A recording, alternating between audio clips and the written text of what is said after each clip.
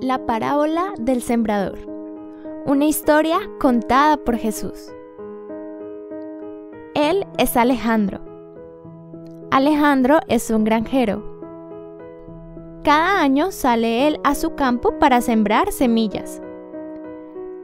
Algunas de las semillas caen en el camino. Y como éstas se pueden ver con facilidad, los pájaros vienen y se las comen. Otras semillas caen en partes rocosas. Ellas crecen rápido, pero como sus raíces no pueden crecer a profundidad, no son capaces de obtener agua suficiente de la tierra y se secan. Algunas caen entre espinos, y ellas tampoco son capaces de crecer porque los espinos no permiten que esto suceda pero el resto de las semillas caen en buena tierra. Allí estas crecen y se convierten en plantas grandes y con fruto. Alejandro obtiene cultivo de ellas. Jesús, en esta historia, compara la semilla con la palabra de Dios.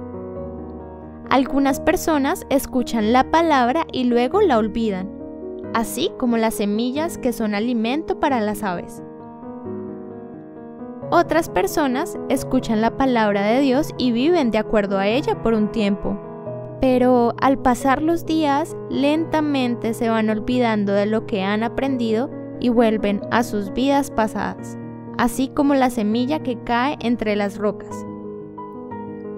Algunas personas escuchan la palabra de Dios, pero como ellos tienen muchas preocupaciones, no se toman el tiempo para meditar en ella así como las semillas que cayeron entre espinos. Pero las personas que escuchan la palabra de Dios y viven de acuerdo a ella son como las semillas que cayeron en buena tierra. Crecen y dan mucho fruto.